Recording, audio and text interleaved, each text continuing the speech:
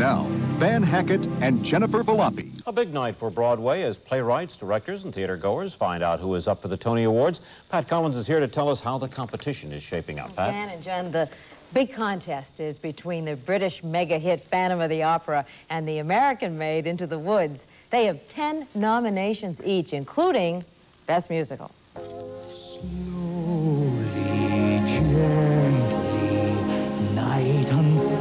Its splendor. The Phantom himself, Michael Crawford, leads the list of best actors in a musical.